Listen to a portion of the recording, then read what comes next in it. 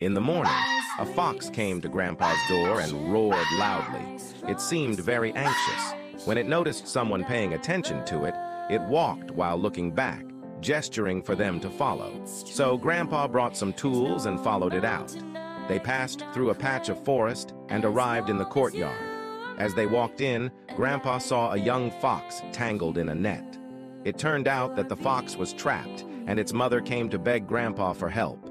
Grandpa quickly took out the tools to prepare for the rescue. When the young fox saw a stranger approaching, it instinctively struggled. Grandpa comforted it softly, and it gradually calmed down.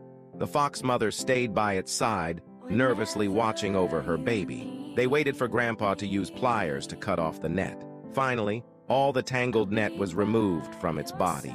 Then, Grandpa checked the young fox's body. A week later, something that surprised Grandpa happened. The fox